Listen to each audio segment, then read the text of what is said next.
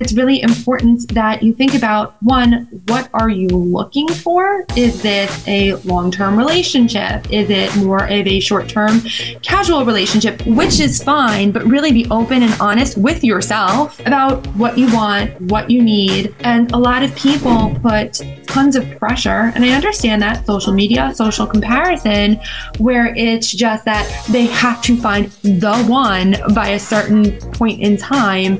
And if you are able to, of course, easier said than done, you know, treat this as a wonderful way to expose yourself to other people that you might not normally connect with, to learn more about them, and to assess that interpersonal connection or compatibility.